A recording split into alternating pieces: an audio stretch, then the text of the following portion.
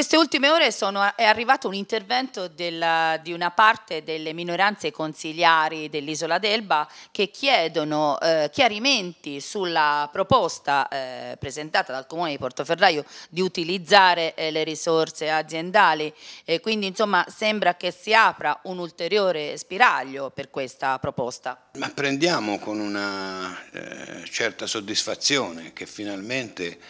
dopo eh, sette mesi di lavoro anche le minoranze incominciano a capire che l'utilizzo delle risorse aziendali per la risoluzione dei problemi sanitari dell'isola d'Elba è sicuramente l'unico momento di utilizzo valido per uscire da questa impasse dove ci ha messo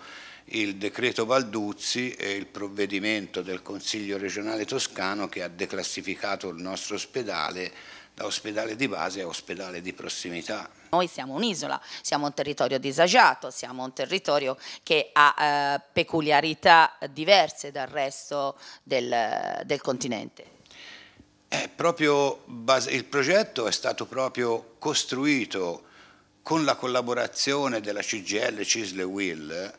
proprio tenendo conto di quelle che sono le peculiarità del territorio elbano e quindi la sua possibilità di rimanere isolato eh, per condizioni eh, meteo-marine avverse ed infatti nel progetto si parla di utilizzo della rete solo ed esclusivamente per tutti quegli interventi che sono programmabili, cioè praticamente per le specialistiche di secondo livello, tipo l'otorino, l'oculistica o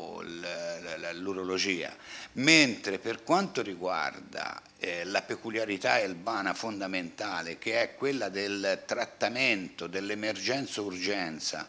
e non soltanto ospedaliera, ma anche di quella territoriale, allora il documento prevede la presenza in pianta stabile di specialisti, di professionisti capaci, provenienti sempre dalla rete, ma che rimangono in pianta stabile sul, sul nostro territorio.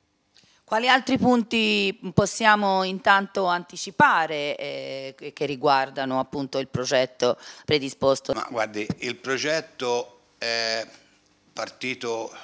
diciamo subito dopo eh, il periodo estivo, nei primi di, di settembre è partito raccogliendo tutta una serie di dati eh, statistici che hanno documentato come il nostro territorio, oltre ad avere avuto una progressiva perdita di funzionalità medico-chirurgica, ha avuto anche una progressiva perdita in termini economici,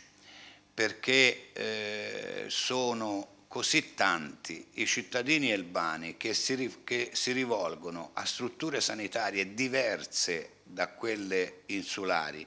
per problematiche anche minimali, cioè quelle che vengono definite con DRG inferiore a 1, eh, sono così tanti, dicevo, che la perdita economica per il nostro territorio è di circa 5 milioni di euro ogni anno. In altre parole il nostro budget ogni anno viene calato di 5 milioni di euro perché vengono dati ad ospedali che fanno cose che potremmo fare tranquillamente qui all'isola d'Elba. Quindi il primo provvedimento più importante sarà quello di recuperare una funzionalità chirurgica onde evitare ai cittadini trasferimenti in altri presidi ospedalieri e recuperare una funzionalità chirurgica in emergenza-urgenza attraverso l'utilizzo delle risorse aziendali perché operare all'isola d'Elba o operare in continente, la, la differenza di alcune ore può fare la differenza fra la vita e la morte.